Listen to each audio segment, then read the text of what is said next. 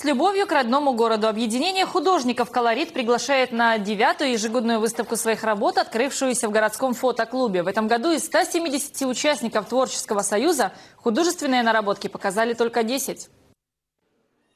Обычно их работы можно увидеть зимой и летом на главном запорожском вернисаже площади Маяковского. Поэтому экспозицию в выставочном зале Союза фотохудожников начинают с небольшого экскурса в историю этого места встречи гуляний. Создавали как театральную площадь, потом поставили ракету и назвали в честь космонавтов. И только с появлением фонтана здесь стали собираться художники, превратив площадь Маяковского в культурную достопримечательность. Именно здесь творят и выставляются колоритовцы, только несколько раз в году, изменяя привычному месту, на выставке с любовью к родному городу.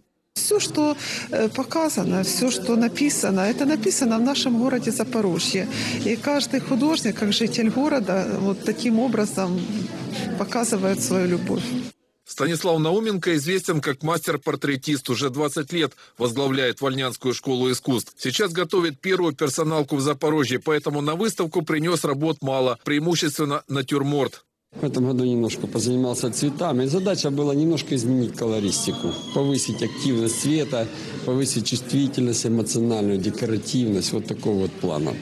Светлана Ворончихина показывает предчувствие весны. Для полноты ощущений использовала графику и акварель, гуашь и тушь, ветка сакуры, девушка-волна и, конечно, цветы. Это весна Светланы. Я очень люблю период цветения деревьев. Очень люблю весну, мое любимое время года. И люблю наш город весной. Он оживает после зимней спячки и радует. Букеты из цветов и бабочек – это витражная роспись на стекле. Елена Саурина занимается этим четвертый год. Так называемую технику перетекания для росписи придумала сама. Это когда краска одна из одного цвета перетекает в другой. Она дает неожиданное очень сочетание, не, скажем, непредсказуемое. И потом их нужно обязательно как-то еще обыграть. Это очень похоже на пятнографию. Есенинская осень – стихи по периметру картины. Прочитав их, работу можно понять лучше, уверен автор Игорь Сокольский. Дебютант девятой выставки колорита пришел в живопись из графики. Стиль, говорит, оттачивал на книжных иллюстрациях. В своем творчестве сочетает символизм и сюрреализм. Каждый предмет э, представляет собой символ. И на каких-то стыковках этих символов создается история. Желание вырезать из дерева икону пришло к Юрию Сидоренко спонтанно. Первой была Казанская Богородица. Сюжеты берет с церковных иконок, старается не повторяться. Даже если опять изображает того же святого, обязательно с новым эскизом. Клич души, как бы, я отдыхал, когда делал, я не знаю, там, на автопилоте, как бы.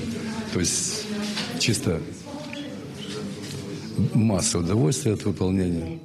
Городские пейзажи Ольги Харьяковой, натюрморта Николая Шеверского, картины из кожи Павла Клебудского. И спустя почти 20 лет с момента создания в колорите уверены, есть чем порадовать зрителей.